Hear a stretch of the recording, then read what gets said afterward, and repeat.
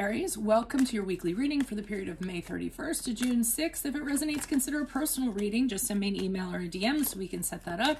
Let's get to your reading. Holy Spirit, angels, divine guides, universe, can you please provide your truth, your wisdom, your clarity, and your insight for Aries for the period of May 31st to June 6th?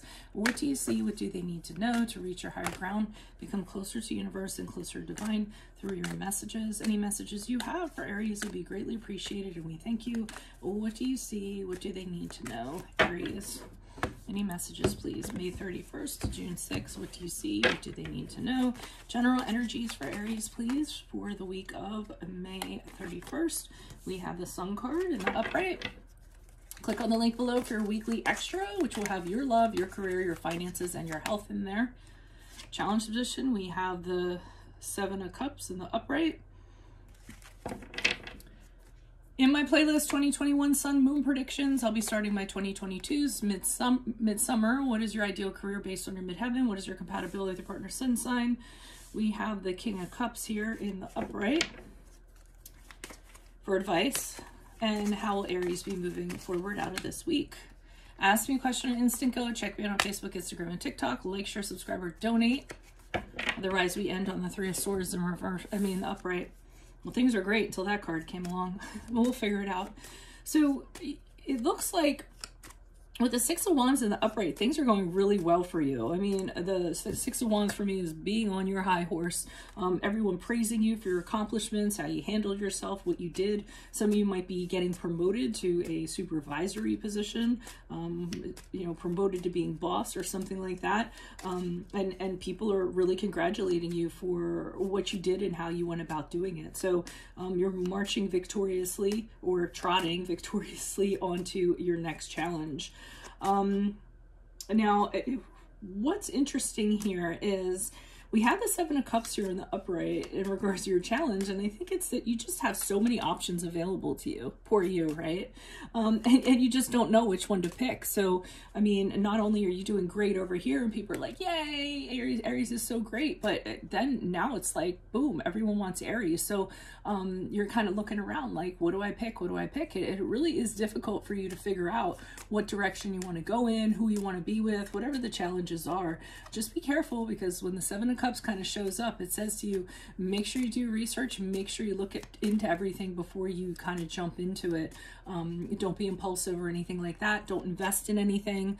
Um, but that's what's kind of going on there. Now, I feel like the advice is, with this King of Cups here is saying, go the route of this King of Cups. So, um, now this this is this can go one of two ways. So if you're talking about a suitor or choosing somebody to kind of date go with somebody who's in control of their emotions um, you know very um, mature um, very kind very understanding. Um, or they're telling you to make the decision where this person isn't involved. So say that there's a position, because the King of Cups, they're very mature. Um, I usually think of them as bosses or someone that, you know, is a father and kind of runs a family or what have you. I almost feel as though out of all the options, choose choose the one where this king of cups is involved. So if you have a boss that's very kind and very understanding and very emotionally in control and stuff like that um, go that way. Because i feel as though they're saying this person is going to teach you a lot. They're going to be a really good mentor whether they're a romantic partner or otherwise. Um, and it really is going to be a good experience for you. Um, I, I, just keep on getting they're gonna they're gonna you're gonna learn from them um, in a lot of ways that that you wouldn't ordinarily. Now emotionally anyways.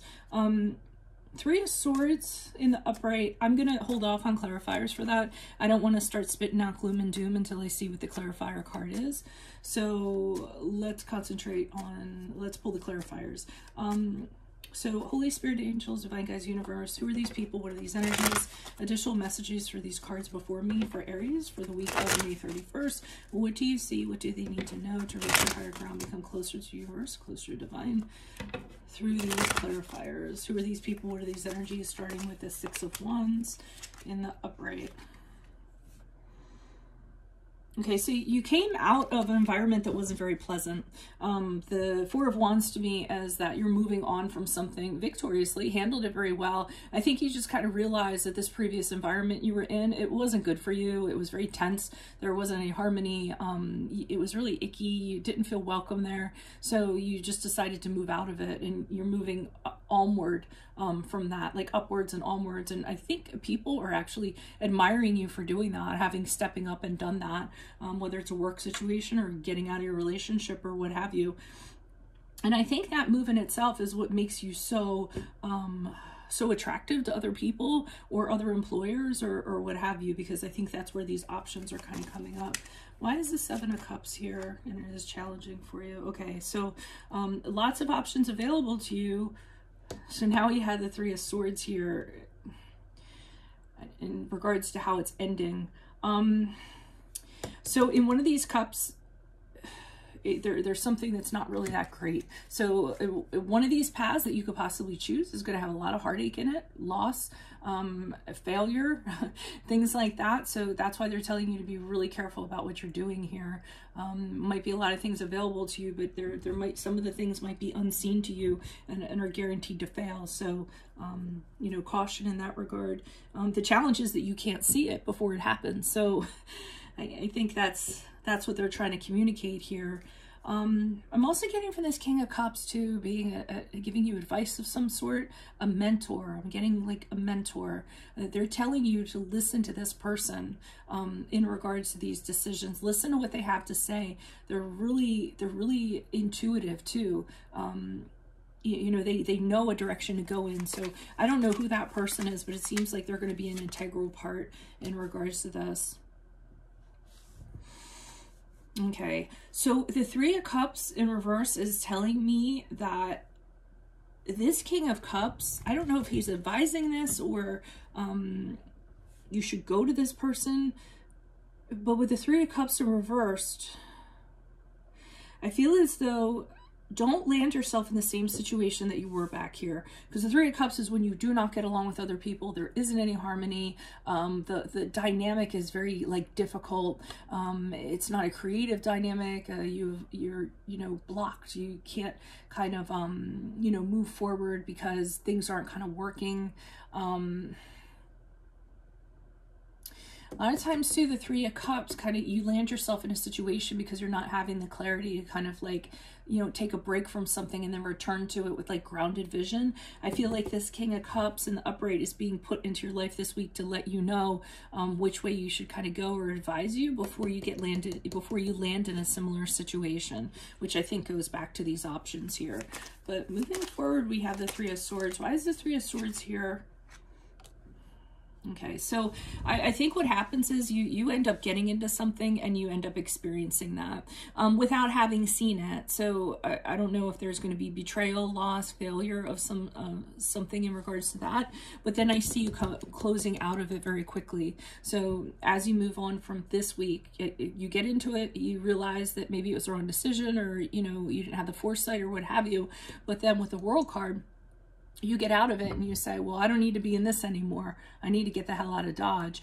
Um, but the world card talks about lessons learned. So whatever the situation is, kind of em embrace all the all the ugly stuff that kind of comes along with it, um, because it's really gonna it's gonna teach you things so, so that you can move on to what you were meant to be in. I almost feel like this is like a a um, little little. Um, a little step you need to encounter before you get get to the bigger thing that you're supposed to get to. So it's very necessary. It's a very necessary part of the process. So i wouldn't kind of you know beat yourself up if it doesn't if it doesn't go the way that it should because i think there's a bigger plan for you um, and this was part of it. So i hope that makes sense. Um, if it resonates consider a personal reading. Just send me an email or a dm so we can set that up. Click on the link below for your weekly extra which will have your love career finances and health. Oh, excuse me, a hiccup.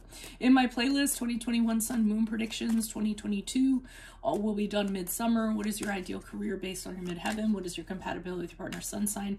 Ask me a question on Instant Go. Check me out on Facebook, Instagram, and TikTok. Like, share, subscribe, or donate. Otherwise, I'll see you in the Vimeo. Adios from Veronica Garnet. Bye.